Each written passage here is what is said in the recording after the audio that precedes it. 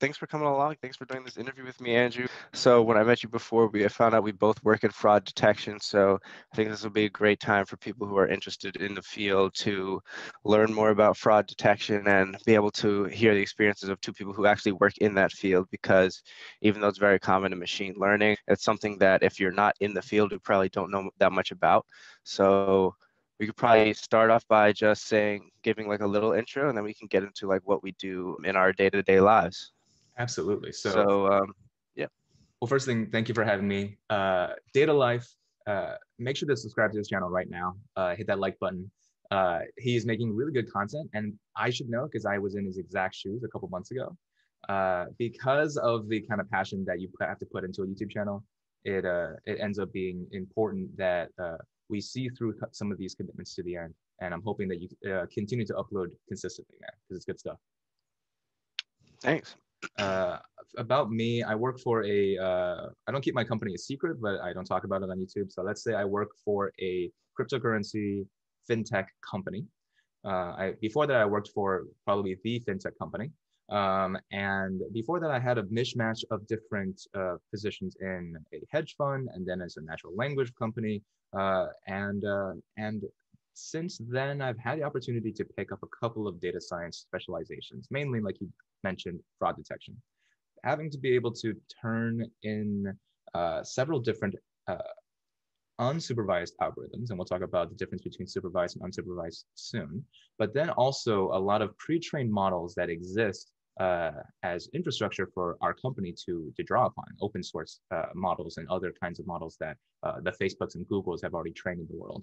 Uh, drawing upon the, uh, those models and leveraging that kind of machine learning technology is a fine dance of what is going to be best for the company and what is going to be the most 80-20 approach for a data scientist. So the the inner workings of having to uphold, for example, a a cryptocurrency economy ends up being can this economy run uh, uh, successfully, fluently, or the very least equi- equitably, equi- with with equity? Uh, mm-hmm. Can this economy run with equity without your model in place? And do bad actors get away with what they're doing to an extent that it's detrimental to the company? So those are the two questions that I'm trying to answer. Awesome. Wow. Cool. So I guess for me, um, I kind of stumbled into the fraud detection field. Um, I actually moved to the DC area in um, January to pursue a data science position with Hilton. It was actually a data science position on a, a revenue analytics team.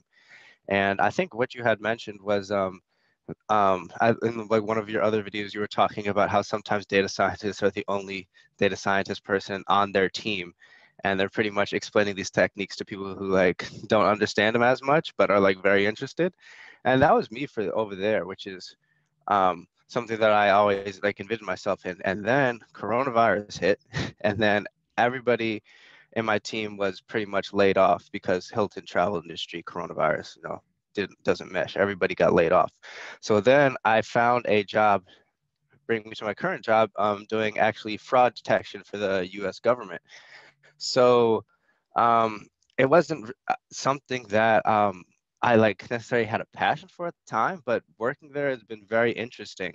And honestly, like it's um, it's very captivating. It's actually kind of very interesting with just the like you said, learn working with unsupervised models and um, other parts of um, machine learning that you've never even heard of, like um, something that I learned about is an isolation forest, which is a type of random forest specifically for like um, fraud detection, for anomaly detection, which is probably something that most people haven't heard of. It's just a whole field that um, you can get to learn out, learn about that you know nobody really looks at um, courses for isolation forests but um, it's just something i guess you know that other people might not look into my favorite but, well, that's uh, probably my favorite algorithm i love random forests but uh, oh, really? a random yeah. forest uh, an isolation forest i've actually made a video about this i'll, I'll, I'll send you a link uh, uh, and I called it socially distanced AI.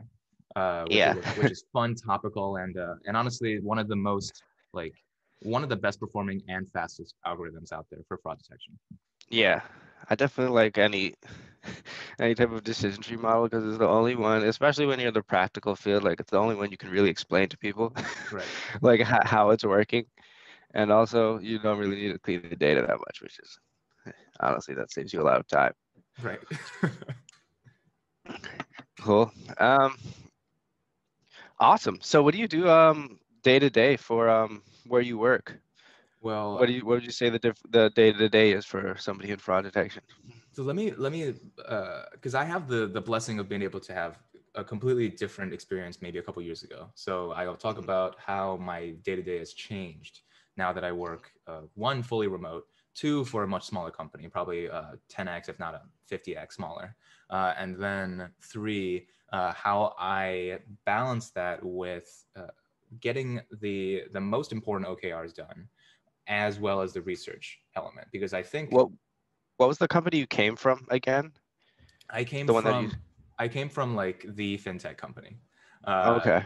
Uh, Silicon Valley, one of the founding fathers of Silicon Valley. Okay. Okay. Uh, so that company was specifically working on, uh, if the, if at all, any fraud detection. It was mainly looking at like legacy infrastructure of like historically fraudulent actors, right? And taking those historically fraudulent actors and then like settling debts, going to them and being like, hey, your your balance in X Y Z uh, amount uh, was fraudulent back in like January of whatever year. Uh, whereas like real time fraud detection was handled by a different team. So that's something that like ends up being uh, ends up being a question of like when your day to day is mostly historical analyses and not really setting up uh, like active barriers like with a machine learning model. Uh, that ends up being a data science position that can be emulated by more uh, more people in the analytical spectrum. For example, an analyst could do a historical analysis as well, uh, but they probably will stop somewhere near forecasting and A/B testing. Right? Experimentation is going to be somewhere on the data scientist spectrum. The differences in the tools is that main, most of the time you could do historical analyses with Excel, right? It would just take a lot more time and it wouldn't be scalable. It would be on an ad hoc basis. But uh, I was one of the, the data scientists on the team that was taking the, the data that a, an analyst might have uh, procured or the very least cleaned up a tiny bit. And then I would plug that into SQL or SQLAlchemy uh, and, and manipulate it with Python. So that was my day to day, taking old data, making some sense of it, uh, finding out which bad actors had had debts to settle, and then uh, trying to track them down. Um, I did a lot other stuff. That's like maybe 20% of my of my workday. But in terms of fraud detection, that was what I was doing. Now here uh, at my current company, I would be working on, like most exclusively on the hyperparameter tuning and just making sure the model uh, that we put in place is actually working. The way the model works, uh, uh, without going to a humongous amount of detail, is an ensemble base. So Mm. we have a couple of models that specifically uh, try and have the best recall so that we can catch uh, bad actors, even if we have to catch some good apples as well. And then a couple of other models that uh, try to try to perfect uh, precision and other uh, and another like generally good accepted uh, metrics, F1 score, area under the curve, uh, making sure that the model generally performs okay. Because if we capture too many uh, good apples along with uh, the batch of bad apples, then we're ultimately going to uh, maybe have, if we automatically try and retrain the model with the new bad apples, we will have, we will capture some sort of weird data drift that will be self, uh, like a, a self-fulfilling prophecy of like, uh, we think that people from Seattle are bad actors, and then slowly it would drift towards that becoming true, uh, even if the, the actual data doesn't represent that. Um, awesome. but that's way different than like collecting data, ingesting it, EDA, and then running like visualizations and reports on it. Yeah, I'm glad you brought up how you uh, measure how you measure the models actually with using recall because that's something that I've been kind of stressing that we need to use at my uh, at what we're doing right now for fraud detection because right now um, a lot of people are looking at our model and saying like oh like their their accuracy is 99 point something percent and I'm like oh, okay that's because most of the people aren't committing fraud so it's pretty easy to, to label that. But um, yeah I, it's a lot of course with fraud detection it's a lot more important to not miss somebody that's committing fraud as opposed to maybe marking somebody's committing fraud who's who's not commit, committing fraud. So i think it's cool that you touched upon that. Um, yeah for me we have um, my entire team does fraud detection so there's a lot of moving parts. So i can give you um, an overview of there's actually what i call like two main models which I actually don't work on um, that much, but I have other models that go into the main models, and I'll get into the, the details. So when I say the main models, um, the first main model we have is a giant autoencoder, which takes transactional data, and it looks at all the um, the people who, and it looks at all their access records. So let me go back and say I do internal fraud detection. So I look at people, employees accessing people's um, like financial records. So we're monitoring the employees, not the general public. Oh. So yeah, yeah, yeah.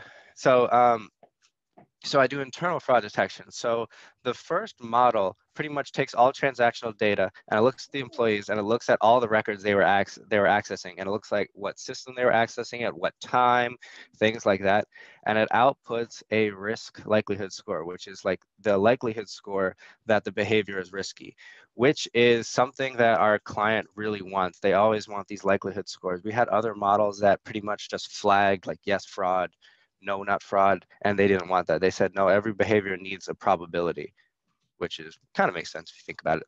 So the first autoencoder, it pretty much takes all the transactional data just as an input straight from the database, and then it gives a risk likelihood score just on what the autoencoder was um, trained on. And then there is a, um, a second model called the random forest model. And this one is uh, more of a flagging model. It does uh, um, output like another like um, they call it like an anomaly score and a risk score, but they're they're literally both the same thing. Um, but this one is um, trained to flag specific um, behaviors. So this one is more um, based on specific flagging criteria. So if a person accesses somebody's records outside of work hours, that's automatically flagged. If a person accesses their own records, that's automatically flagged. If they access their house, their spouse's record, that's automatically flagged.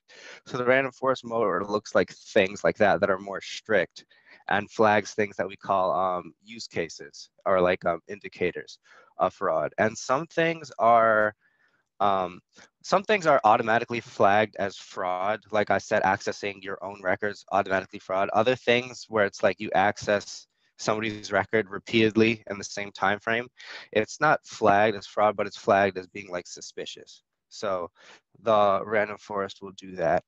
And then what I do is I create a lot of the inputs for um, actually both of the models too. Um, so what I'm working on right now is I'm working on an LSTM and um, the other person I work with, he has a PhD in mathematics actually. So we're we're on this uh, project right now where it's actually very innovative because not many people have done this before. We've only found one white paper online about it, but we're using an LSTM for fraud detection where pretty much we make a synthetic data set of transactions and we label um, certain transactions in the data set as um, fraudulent. Um, specifically fraudulent in being like a sequential pattern where of accessing um, people's data. So um, whenever you access somebody's data, they have um, like an identifier number, and sometimes people you'll see their accesses they're accessing identifier numbers that are just like increasing by one, which is um, very suspicious. Obviously, if you're accessing people's records, all the number all the people's identifiers should be completely random. But if there's some sort of pattern, then that's suspicious behavior. So we're training the LSTM on um, a bunch of sequential patterns in the data set and then actually running that model on actual real transactional data. And I'm glad you brought up unsupervised and supervised because from my experience, the only time you use an unsupervised model is when you don't have labels to make it a supervised model. So we're pretty much imposing labels on an unsupervised data to make it a supervised model. and it's still in the testing set. Um, I'm, yeah, it's still in the testing phase, phase but um, did I say phase? It's still in the testing stage, but it's getting a lot of um, great results. And honestly, it's very exciting because it's a very innovative way to use um, recurrent neural networks. They actually aren't really used for sequential pattern detection or fraud detection that much. I think that the you're working on like cutting edge technology for the U.S. government, which is surprising. One because uh, yeah. apparently the James Bond uh, Casino Royale scenes are are real. Uh, uh, when they like he's trying to hack and then they're like, oh, we caught him in like two seconds. Uh, and two that the U.S. government's actually onto some uh, some some good stuff, some like pretty advanced yeah. technology you wouldn't expect to say cutting edge technology and U.S. government in the same sentence, but that's why they're they're um, they're they're that's why we're contracted out to them. Yes, and then we get little updates of oh the Pentagon is spending this much money on artificial intelligence or GSA now wants to innovate this, so they're coming around. they really are. So yeah, it's um it's great. It's very um innovative. I work with a lot of people who are smarter than me, which is awesome.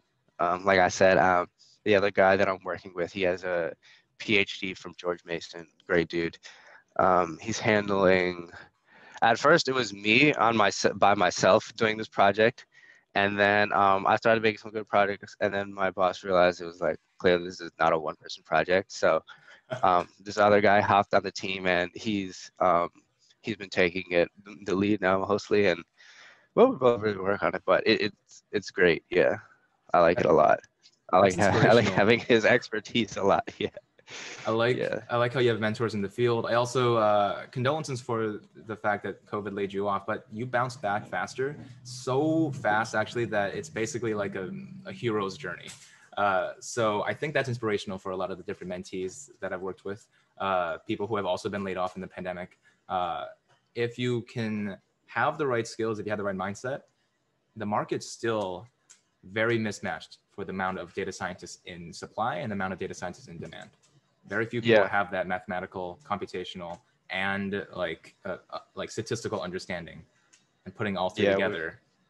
We're, we're definitely in a great field. And to be honest, when I was applying for jobs in the pandemic, I also was being pretty picky and it took me about two months to get a job. So we were definitely in a very, uh, we're definitely in a very secure um, field.